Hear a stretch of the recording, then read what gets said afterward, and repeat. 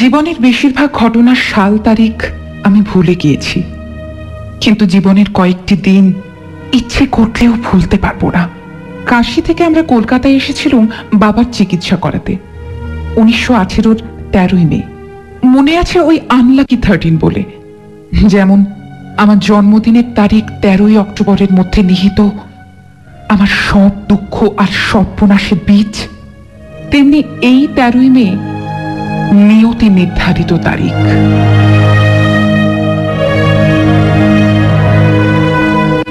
উঠেছিলাম ছত্রিশ নম্বর ল্যান্সডাউন রোডের ভাড়া বাড়িতে। দুদিন পরে জোড়াসাগর বাড়িতে গেলুম তোমাকে দেখতে। তখনও তুমি আমার ভানুদাদা হওনি। ভানুদাদা হলে তো অনেক পরে, তখন শুধু প্রিয় রবিবাবু। বারো বছরের মেয়ের কি আস্পর্ধা ভাবো? নোবেল প্রাইজ পাওয়া রবীন্দ্রনাথ ঠাকুরকে চিঠি লিখছে প্রিয় রবিবাবু বলে। জোড়াসাগতে তোমার বাড়িতে গিয়ে তোমার সঙ্গে দেখা করতে কিন্তু প্রাণী ছিল যত ভয়, তত উত্তেজনা। যাকে আমি এত ভালোবাসি, যাকে না দেখেই মন প্রাণ দিয়ে দিয়েছি। যার বয়স যতই হোক না কেন, মনে মনে যাকে সাতাশের বেশি ভাবতেই পারি না, তার মুখোমুখি হতে কি ভয়, কি লজ্জা, কি সংকোচ, আবার কি উত্তেজনা। ভেতরটা আমার কাঁপছিল। যখন তোমাদের বাড়ির পাথরের সিঁড়ি দিয়ে ওপরে উঠছি, মনে হচ্ছিল তুমি শুধু কবি নও, তুমি রাজা। না হলে এত বড় বাড়ি কেন তোমার? কবিরা তো গরিব হয়, ভাঙাচোরা বাড়িতে থাকে। এর আগে আমি কখনো এত বড় বাড়ি দেখিনি। আমি কি বসলুম তোমাদের বাড়ির বিশাল লম্বা টানা বারান্দায়। বারান্দার পাশে সারি সারি ঘর। আন্দাজ করার চেষ্টা করলুম, কোন ঘরে আছো তুমি? হয়তো লিখছ কিংবা সুর গানে? কোন ঘর থেকে হঠাৎ বেরিয়ে আসবে? আমি আমি উত্তেজনা চেপে রাখতে পারছিলাম না। বেশিক্ষণ বসতে হয়নি। হঠাৎ ঘটল তোমার আবির্ভাব। চমকে উঠলুম তোমাকে দেখে। তুমি সুন্দর জানতুম কিন্তু এত সুন্দর কোনো মানুষ হতে পারে? আমার লম্বা লোক খুব ভালো লাগে সে কথা তোমাকে তো চিঠিতেই জানিয়েছিল। কিন্তু তুমি এত লম্বা, এমন চওড়া তোমার বুক, তোমার চোখ এমন সুন্দর, আমি তো ভাবতেই পারিনি। আর তোমার গায়ের রং বর্ণনা করতে পারব না। মনে হলো ভেতর থেকে রক্তের আভা ফুটে উঠেছে। আমি এত সুন্দর মানুষ কখনো দেখিনি। সেই চমকটা আজও রয়েছে আমার মনের মধ্যে। কিন্তু তোমার উপর রাগও হলো। তুমি তো জানো, তোমাকে নারদমণির মতো দেখতে নয়। তুমি জানো তোমাকে কত সুন্দর দেখতে। তুমি এত বড় কবি, জগৎ জোড়া নাম তোমার। আর তোমাকে দেখতে এত ভালো। কোন মেয়ে না তোমাকে ভালোবাসবে বলো? তবু তুমি লিখেছিলে। আমি তোমাকে দেখেই ভয় পাবো। আমার বয়স যদি আরেকটু বেশি হতো, হতেন যদি কিশোরী, তাহলে নিশ্চয়ই কথা লিখতে না। তুমি মনে করেছিলে আমি নেহাত বালিকা, কিন্তু আমার মনটা যে আমার বয়স ছাপিয়ে বেশ বড় হয়ে উঠেছে, সে কথা তখনও বুঝতে পারোনি। তাই রাগ হলো, আবার অভিমানও হলো, আর মনে হলো হাতের কাছে চিরুনি থাকলে তোমার চুলটা ঠিক করে আঁচড়ে দিত সেই প্রথম দিনেই। তোমাকে চিঠিতে তো কত আদর আর চুমু পাঠিয়েছি, এবার সত্যি সত্যি আদর করতুম। বারান্দার পাশে একটি ইজি চেয়ার। সেখানে গায়ে দিয়ে বসলে বলে রানু কাছে এসো। আমি কাছে গেলুম। তুমি অনেকক্ষণ আমার দিকে শুধু তাকিয়ে রইলে। ভেবেছিলুম আমার হাত ধরবে কিন্তু ধরলে না। তোমাকে ছুঁতে আমার খুব ইচ্ছে করছিল। কিন্তু তুমি রইলে দূরে। আবার একই সঙ্গে কাছেও এলে যেমন শুধু তুমিই পারো। তোমার কণ্ঠস্বরে ফুটে উঠল সেই কাছে আসার ইশারাটি রানু তুমি খুব সুন্দর চিঠি লেখো। কি সহজ কি আন্তরিক তোমার চিঠি। আমি তোমার মতো সহজ করে লিখতে পারি না আমি কিচ্ছু বলিনি। বলতে পারিনি। তোমার দৃষ্টির সামনে কথা হারিয়ে গেল। তুমি বললে, তোমাকে দেখতেও খুব সুন্দর। যে মেয়ে ঘরে সৌন্দর্য নেই, সে মেয়ের সৌন্দর্য আমাকে টানে না। তোমার ভেতরটি মধুর রানু, তাই এমন সুন্দর তুমি। দাঁড়িয়ে রইলুম তোমার পাশে। মনে হলো তোমার হাতটি একবার ধরি, কিছুতেই পারলুম না। কিছুক্ষণ পরে তুমি বললে, আমার খুব দুঃখের সময় তুমি আমার কাছে এলে রানু। আমার বড় মেয়ে বেলা, যাকে শিশুকাল থেকে নিজের হাতে মানুষ করেছি তার মতো সুন্দর দেখতে মেয়ে পৃথিবীতে বেশি নেই। কদিন হলো তার অসুখের খুব বাড়াবাড়ি। চিরকালের জন্য তার বিদায় নেওয়ার সময় খুব কাছে এসে গেছে, রানু।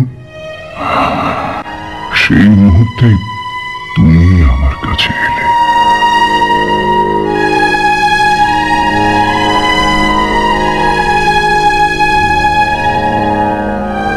পরের দিন, ষোলোই মে সকালবেলা। প্রতিদিনের মতোই ডাক্তার সুবোধ বসুকে সঙ্গে নিয়ে তুমি মেয়েকে দেখতে যাচ্ছিলে। মেয়ের বাড়ির কাছে ডাক্তার নন্দীর সঙ্গে দেখা হলো তোমাদের। তার কাছে জানতে পারলে কিছুক্ষণ আগে তোমার মেয়ে মারা গিয়েছেন। ডাক্তার বসু তোমাকে জিজ্ঞেস করলেন, মেয়েকে শেষ দেখা দেখতে তুমি বাড়ির ভেতরে যাবে কিনা? তুমি বললে, না, সে দৃশ্য সহ্য করতে পারবে না। বাড়ি চলে গেলে।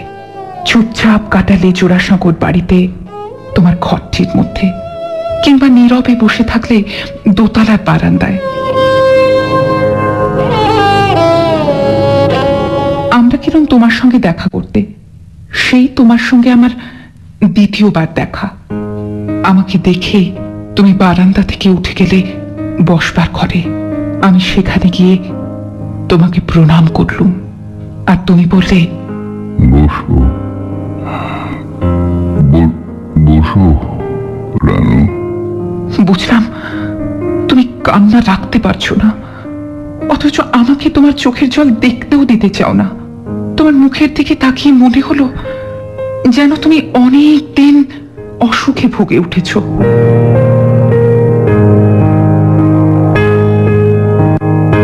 বিকেল বেলা থেকে তোমার মনের মধ্যে ছটফটানি বাড়লো। কিছুতেই আর বাড়ির পরিবেশে থাকতে পারছিলে না। যার কাছে তোমার যেতে ইচ্ছে করল, সে মেয়ে আমি, আর কেউ নয়। আর কারও কথা মনে পড়ল না তোমার। মনে পড়ল শুধু আমার কথা। ভানু দাদা এই অবিশ্বাস্য ঘটনা তো ঘটেছিল। তুমি ঘটিয়েছিলে। সেই দিনই তো দেখা হয়েছে তোমার আবার। তবু আমার সঙ্গেই তোমাকে দেখা করতেই হবে আর সব কিছু পড়ে থাক।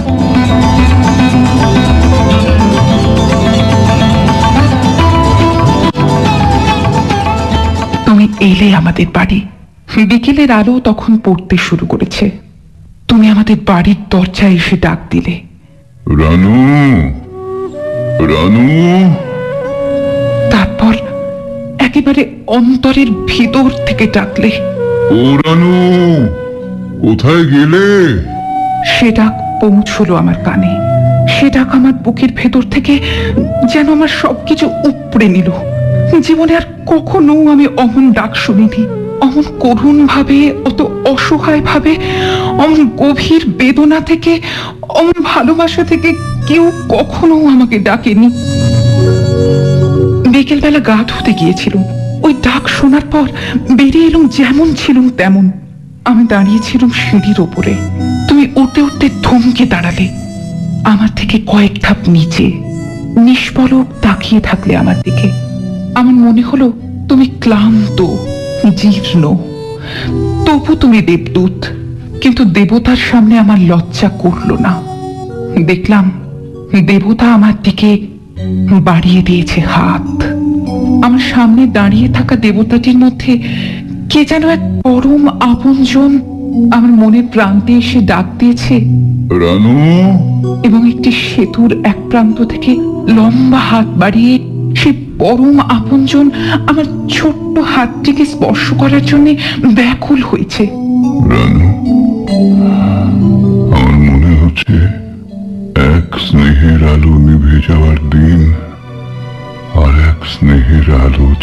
দিয়ে গেল।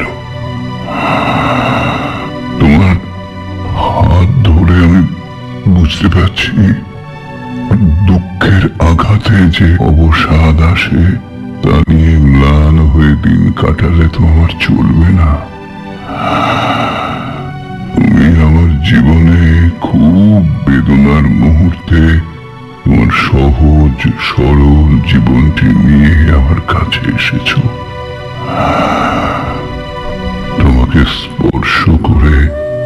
জীবন আপন কাজের বল পেল। সেই দিনই অনেক রাত্রে তোমার গাড়ি এসে দাঁড়াল আমার দরজায়। গাড়ি এসেছে আমাকে তক্ষণি তোমার কাছে নিয়ে যেতে। বাবা মা তো অবাক। কিন্তু রবীন্দ্রনাথের গাড়ি তাদের মনের মধ্যে যাই হোক না কেন, চুপ করে থাকলেন আমি সেই মুহূর্তে তোমার তলব পেয়ে সব শাসনের বাইরে পা রাখলাম। কোনো বাধা না মেনে, কোনো নিষেধ পড়ুয়া না করে কারও কথা না শুনে উঠলাম গাড়িতে। মনে হলো, এ আমার ভাগ্যের রথ। এরই পথে রচিত হবে আমার ভবিষ্যৎ।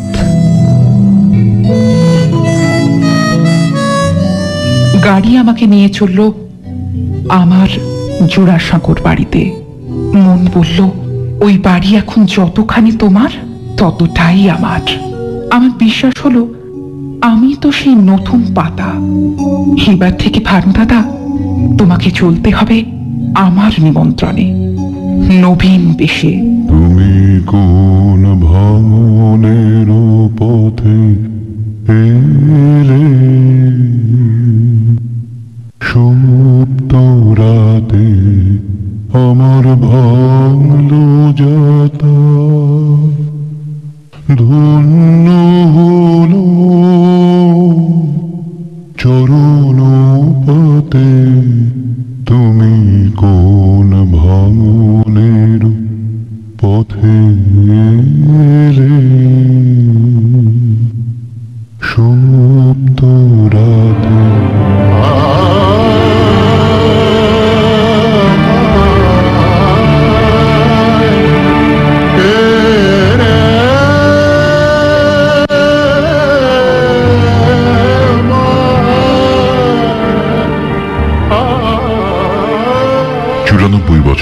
বছর জীবন প্রদীপ নির্বাপনের প্রাককালে এক বর্ষণ মুখরিত শ্রাবণ রজনীতে লেডি রানু মুখোপাধ্যায় স্মৃতির স্মরণে পেয়ে পৌঁছে যান বারো থেকে আঠেরো বছর বয়সে। চুরানব্বইকে বিছানায় ফেলে রেখে শরীরে, মনে, কণ্ঠে কিশোরী থেকে যুবতী হয়ে ওঠে রানু। স্মৃতির বারান্দা ধরে ছুটোছুটি করে। খুশি আর মান অভিমানের আলো অন্ধকারে ভেসে বেড়ায় তার ভানু দাদার সঙ্গে। পৌঁছে যায় হাজার লোকের ভিড় ঠেলে বাইশে শ্রাবণে জোড়া সাঁকোয়।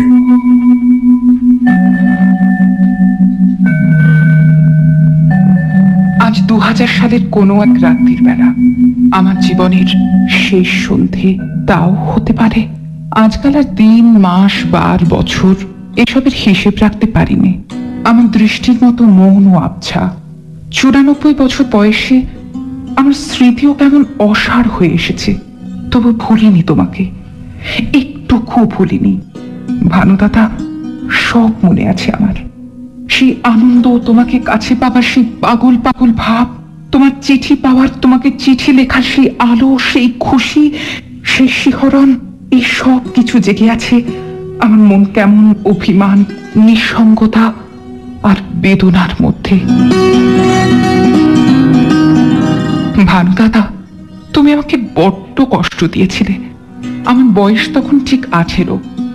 তোমাকে ছাড়া আর কিছুই তখন জানতুম না আমি। জানতে চাইও নি। কেন আমাকে অত কষ্ট দিয়েছিলে? আমার অনেক ভালোবাসার রবি ঠাকুর, অনেক আদরের ভানুদাদা। চুরানব্বই বছর আমি বাঁচলুম। এত বছর ধরে জীবন আমাকে কত কি দিয়েছে? তবু এত পেয়েও আমার ভিতরের শূন্যতা ভরেনি। আমি তো তোমার মতো লেখক নয় ভানুদাদা ভাষা ছড়িয়ে যায়, ভাবনা এলোমেলো হয়ে পড়ে। যা মনে পড়ে আর যা মনে পড়ে না, সবকিছু নিয়ে আমি দিশেহারা হয়ে পড়ি। ঠাউর করতে পারি না কিছুতেই। এই দেখো, ঝমঝম করে বৃষ্টি এলো।